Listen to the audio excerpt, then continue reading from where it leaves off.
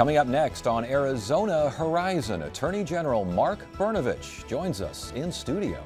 And we'll learn about a new effort to combine care for the elderly with educational opportunities. Those stories next on Arizona Horizon. Arizona Horizon is made possible by contributions from the Friends of Eight, members of your Arizona PBS station. Thank you.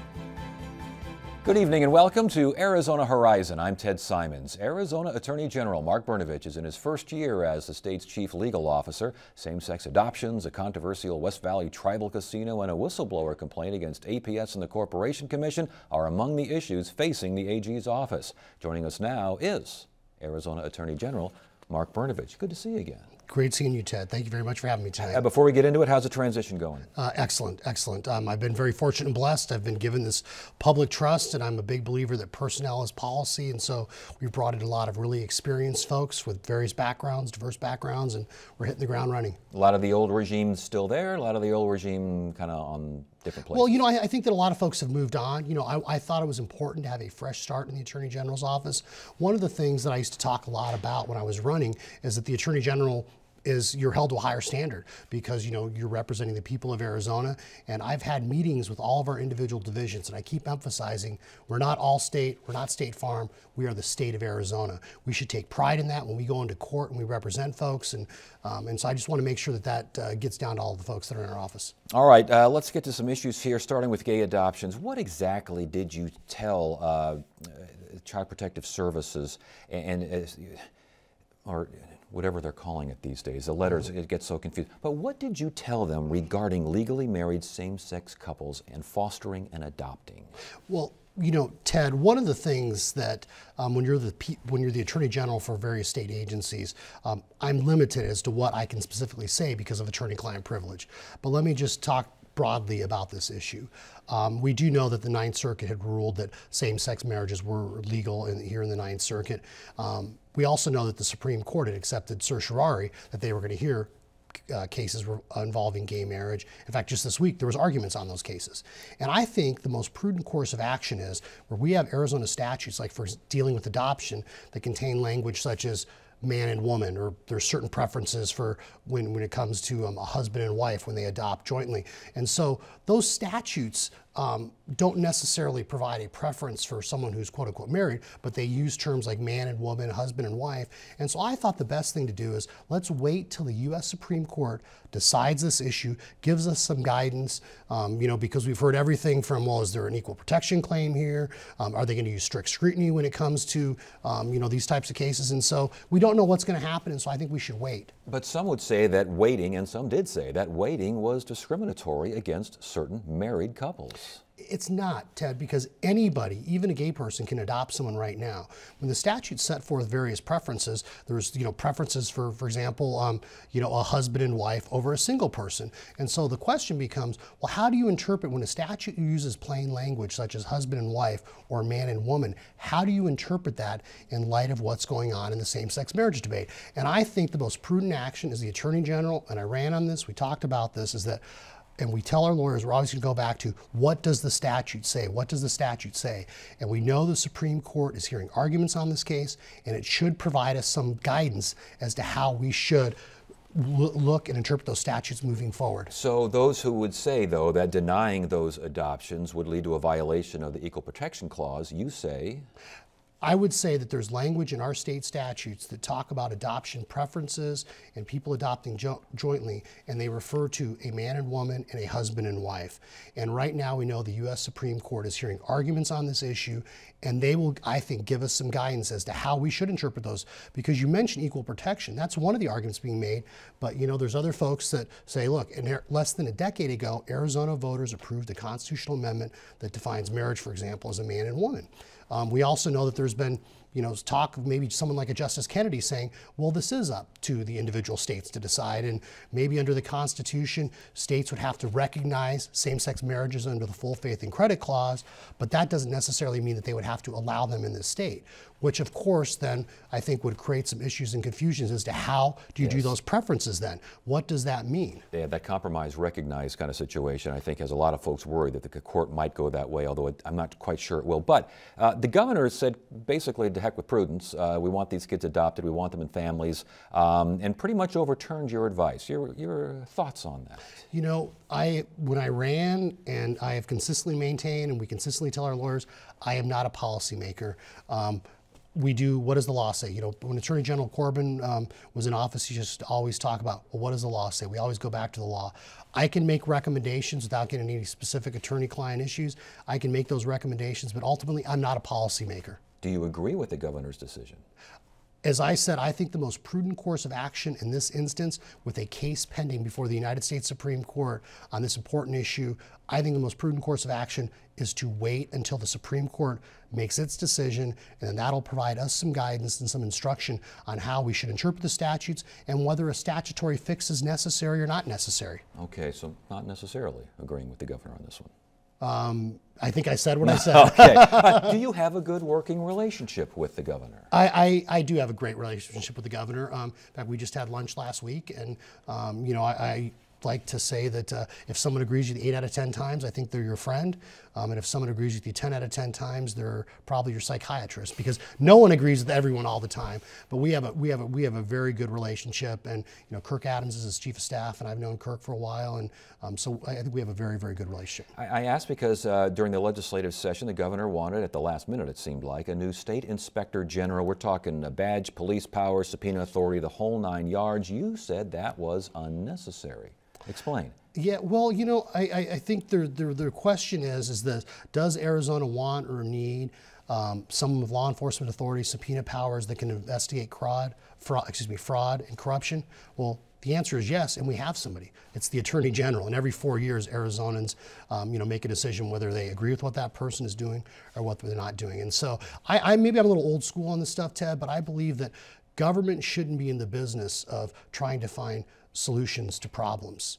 Excuse me, uh, or finding problems to solutions, or you know, excuse me, solutions to problems that may or may not exist. There you go. Um, thank you. Yeah, I, I know what you're getting at, but yeah, I, you know, so, so I, I, think at the end of the day, we're doing that. I mean, that's not to say that I mean, you know, we have an auditor general in the state, and I, I mean, I chaired Governor Brewer's Commission on Privatization and Efficiency. Nobody wants to protect hardworking taxpayers more than I do. I understand that. I just don't think having an inspector general, at least the way the legislation was written, is the right approach or the right model. Yet the governor says that Arizona needs someone to ask the tough questions, and someone that Arizona needs someone to watch out for the taxpayer, um, and he thinks that that is necessary regardless of the AG's position or the AG's office. How do you well, respond? Well, you know, as you know, Ted, Arizona's different than, than many, if not most states. And other states, um, you know, in Arizona, the agency directors, for example, are not merit protected. So if the governor is concerned about what an agency director is or isn't doing, he has the ability to call up that person and say, hey, why are you spending money this way? Why are you doing that? When they do the budget appropriation, the governor's office is very involved in that. And so I, I'm all for oversight, and that's why we have an auditor general. When it comes to um, you know fraud and you know corruption, we have an attorney general that has subpoena power, police powers to investigate those matters, which we we've done even before I inherited that office. Other attorney generals have done. So um, you know, I, I, think there's always, um, to me at least, at least on my part, there's always a reluctance to uh, increase the size and scope of government, especially when it comes to something somebody that has subpoena powers or law enforcement functions. Um, so I, am just, you know, I felt felt like this is something that our office is doing, and between us and the Auditor General. And if you're worried about, um, you know, protecting the taxpayers, I think there's other ways to do that. Last point on this: are those who uh, the governor kind of is included in this camp, but there are those who say that there are businesses that are doing business with the state that are taking advantage of the taxpayers, and we just need to step up on this is the Attorney General's office ready to step up on this? Well, you know what? You we our office is very very zealously gone after you know consumer scams. We've gone we're protecting consumer consumers. Excuse me, since even the brief time that I've been in office, you've seen some of the things that we've done with whether it's settlement with rooftop solar companies, whether it's going after you know bad mechanics. Um, we are willing to go out there and investigate if necessary, either through civil procedures or through criminal procedures, get to the bottom of people that are taking advantage of the hardworking taxpayers. So I would say, well, show us where that's at or what's going on, and we'll get to the bottom of it. And you can do that without an inspector general getting in the way. That would be um, my proposal. Yes. All right. Uh, the probe, the investigation of APS. This is a whistleblower complaint regarding APS and the Corporation Commission. Obviously, you said you were not. You were going to recuse yourself uh, regarding this case, but you allowed your staff to continue investigating. Why? You know, what we what we know that um, historically, as someone that's been a prosecutor, I have never asked someone when I've prosecuted a case what their background is, what their political affiliation is, whether they're conservative or Democrat, Republican, independent, because it's really irrelevant. Um, the only reason why, in this instance, I thought it was a, maybe a, a, good idea to take myself back and, uh, and wall myself all wall myself out from that is because there had been some articles written about it and I wanted to avoid that appearance of impropriety. But at the end of the day, as a prosecutor, very often you might be investigating, especially in a place like Arizona, and Phoenix, you know, in some ways this is a, a, uh, a big city but a small town. There's always some interconnectedness between folks and, um, you know, people know each other, but that doesn't mean that you can't be fair and objective and impartial. It always comes down to what the statutes say. We're going to follow the law and obey the law. And if voters don't think I'm doing that, they can vote you out of office. Uh, but I thought it was important to wall myself off, and I, I brought in, you know, Don Conrad's the head of our criminal division, um, who actually worked with uh, Terry Goddard, and John Lopez, who um, was at the U.S. Attorney's Office for years, and um, he's my Solicitor General. And what I did is I delegated the authority into that investigation to them. I walled myself off, so I'm not involved in it. But if it has even the appearance, and we should mention an APS donated 400 some odd thousand dollars to uh, the Republican Attorney General's Association, which launched uh, ads against your opponent during the campaign, and that's uh, I'm guessing that's why you're recusing yourself from this. But it, why not just send this out to another agency because, and get that whole you know, appearance over with? Because, Ted, first of all, none of that money ever went to me or my campaign. And um, so there, there really isn't an ethical conflict. If you look at the ethical rules with prosecutors, there isn't an ethical conflict. And what we did, what we did, only out of an abundance of caution. I think it's very, very dangerous as a prosecutor. People can literally start creating conflicts um, by trying to, um, you know, maybe open an investigation or donate a campaign. So let's just say, even with some of the stuff that we see that's going on with, with the sheriff and federal court now, there's issues about, well, if someone investigated someone, does that create a conflict. Yes. And you could have, end up having these self fulfilling prophecies or situations where people could do things that would force you, by that logic, to recuse yourself from cases when you are the best person and the best office situated to do it. At the end of the day, Ted, our office is charged. This is what we do. We investigate, you know, corruption. We investigate these violations, and we are the best capable. We have the best resources. We have the best talent to do it. So why would we want somebody else to do that? But do you understand why some see this as questionable? Frankly, I don't think it's questionable because at the end of the day, I've walled myself off from being involved in it out of an abundance of caution. But even there, I think if you talk to anybody that's a that's a, that's an ethics expert or someone that's involved in this, there is nothing or in the black letter law that would prohibit us from moving forward on that. I did it out of an abundance of caution, and you know, frankly, I don't. I there's so many things going on in the state right now, Ted, that it's to me that's water under the bridge right now, and it's it's really you know what we've got things going on with you know the casinos and um, things going on with immigration, and, and, there's so many other more important issues facing the state. Well, Let's not get in the weeds on that. Okay, well, I, I kind of like the weeds sometimes, so, but uh, we, we can. Are we going to talk about marijuana can, now? Uh, no, no, no, no, we are not. But we are, I do want to mention the casino uh, because just today now we had the uh, Senate subcommittee deciding that they wanted to go ahead uh, and try and stop this thing. Your efforts on, uh, your thoughts, I should say, on efforts to stop the tribal casino near Glendale. As you know, Ted, I was the former Arizona Department of Gaming Director, and as a federal prosecutor, I worked a lot in Indian country and on gaming related matters. I understand this issue very, very, very well. And in 2002, Arizona voters were promised that gaming, the gambling was going to be limited and well regulated. And what the Tohono Nation has done by buying land more than 100 miles from their tribal capital, um, they, are basically blowing up the tribal compacts. And so we once again were asked to question our office to provide legal advice to an agency, agency, which we do. At the end of the day, this is a policy decision for the governor and the Arizona Department of Gaming how we want to proceed. But I believe they have a legally defensible position, and I think it's an important position because we know that the Tohono Nation had made promises regarding, you know, they weren't going to build any casinos here, and then they secretly bought land with a dummy corporation, and um, they, you know, basically tricked the voters in 2002 as to their real intentions. And yet they are winning at every turn when they hit the courts. I mean, the, the federal courts are, they're basically saying that the compact doesn't specifically doesn't specifically prohibit new casinos. And and, and, and you are partly right. They they have won, but there is a case right now with that very issue that's pending before the Ninth Circuit Court of Appeals, and so you know we should hear back as to as whether they won that or not. But at the end of the day, let's remember if you go back in time, the federal government flooded, damaged tribal land in the 1950s You know, in the 1980s, they gave them money to buy land even before the Indian Gaming Regulatory Act was passed. And this, what we're talking about here is Indian country. Once this land's taken into trust, it's like the land of a sovereign nation. So it creates all sorts of issues, even for law enforcement. There's a high school right across the street there. What happens if there's an emergency? What fire department's going to respond? What if someone's arrested? I mean, you know, so, so there's all sorts of issues that I think that when it comes to public safety, you know, besides the basic issue about how they went about getting this, but when you have a tribe building a casino 100 miles from you know their existing tribal lands, I think it creates all sorts of problems. Do you think they engaged in fraud?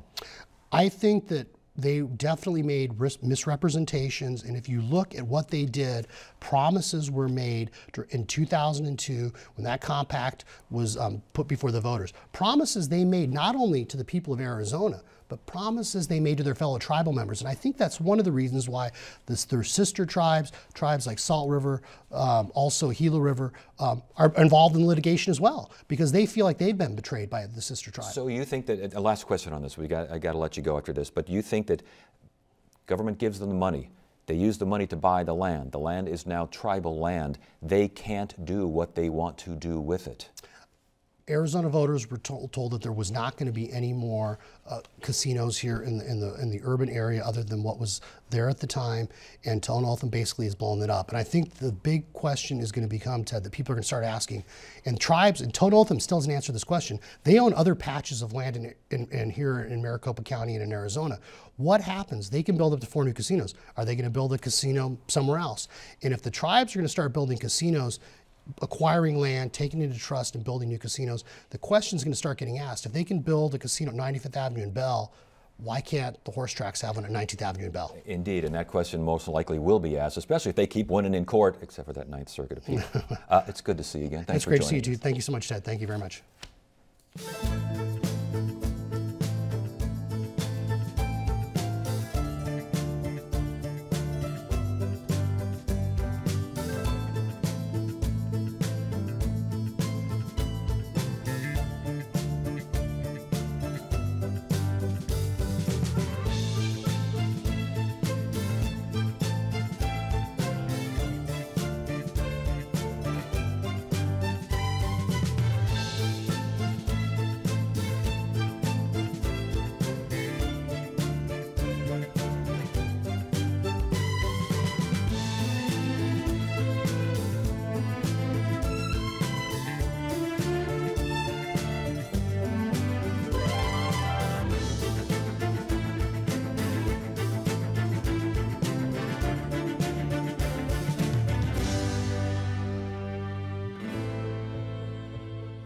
Developers of the Westward Ho in downtown Phoenix are partnering with ASU to provide medical help and other services for the Westward Ho's elderly residents. Here now to explain the partnership is Dr. Michael Shafer, professor of social work and director of ASU's Center for Applied Behavioral Health policy. Good to have you here. Thanks for joining Thanks, us. It's real pleasure. Uh, let's talk about this partnership. What's going on now as far as it, it, sounds like it's a good educational opportunity and a good opportunity for those folks to get some needed services. It's a win-win all the way around. Uh, with the Westward Ho and just literally across the street from the ASU downtown campus, we recognized a need. 300 residents live in that home.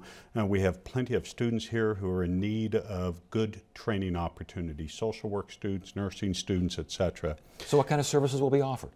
We are establishing a, a, clinic that will be student staffed and faculty supervised involving students in our uh, social work department, recreational therapy, nutrition, and nursing. And we're creating what we would call an interprofessional clinic that'll meet some of the unmet needs of the uh, tenants that live in that building. Interesting. Now, ASU nursing students, aren't they already working over there? They are. Nursing has had a very small uh, but long-standing presence. Uh, they have undergraduate nursing students that are over there one or two days a week uh, for a few hours. We found in a study that uh, one of our doctoral students did a couple of years ago with about 50 of the residents, those tenants have surprisingly good access to health care. What they don't have good access to is a lot of social uh, engagement activities. We found the tenants there largely isolated, lonely, hmm. uh, etc. A lot of what we would call social disorganization uh, issues that results in our police and fire department in 2012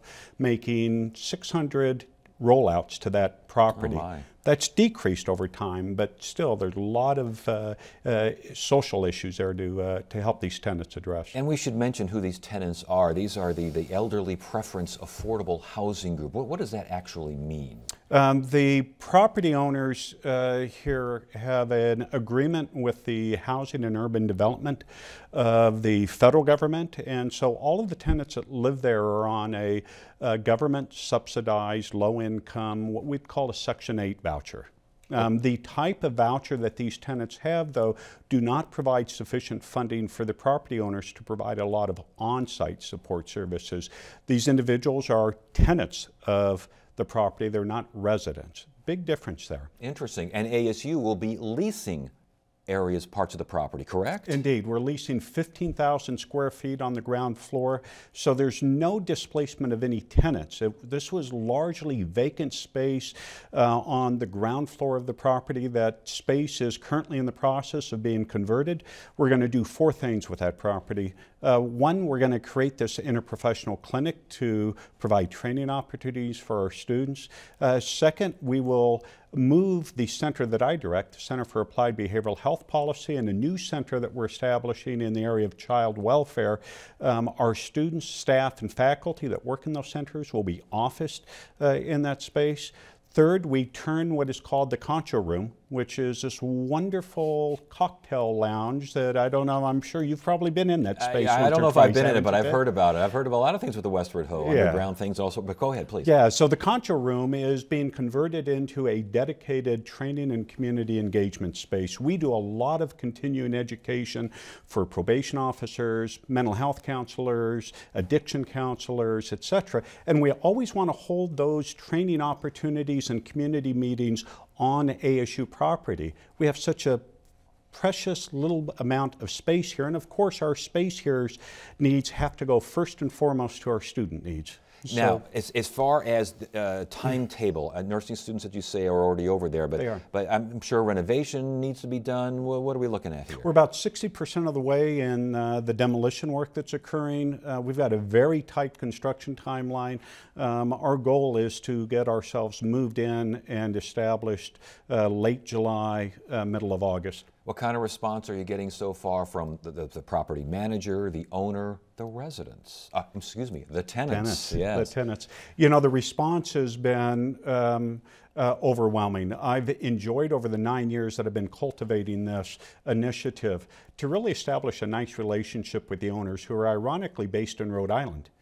The owner, the ownership of that property is a company that's based out of Rhode Island. They've held the property since 1979.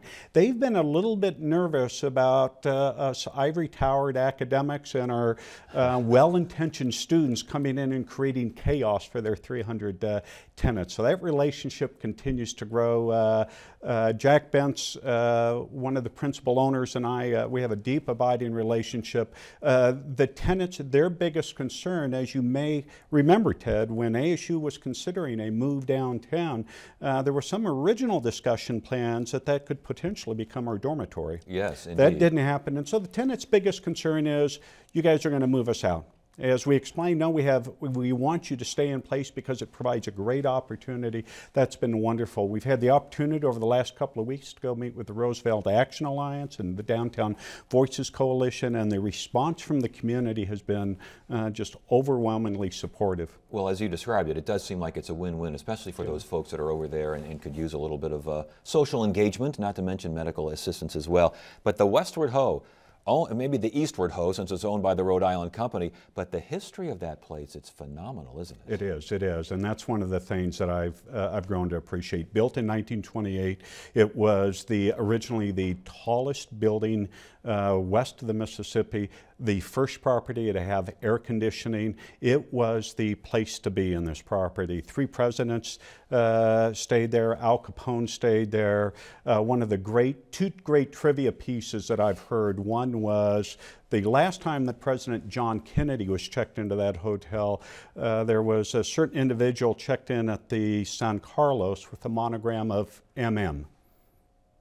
MM was. Oh, okay, all right. I'm searching for all sorts of all sorts of communists or all sorts of uh, mafia people, and I know who Yeah, MM. yeah, okay, yeah. all right. Uh, well, good luck on this. And I think I, if anyone's got a problem with this, I don't know what's going on there because it sounds, at least uh, on the surface, and at least from what you've told, this sounds really like a nice thing to do and a good opportunity for students as well. Thank you. Thank you very much. Thank you, Ted. Friday on Arizona Horizon, it's the Journalists Roundtable. The U.S. Supreme Court hears a same sex marriage case that could impact Arizona. And renovations at the State House of Representatives continue to raise eyebrows. Those stories and more Friday on the Journalists Roundtable. That is it for now. I'm Ted Simons. Thank you so much for joining us. You have a great evening.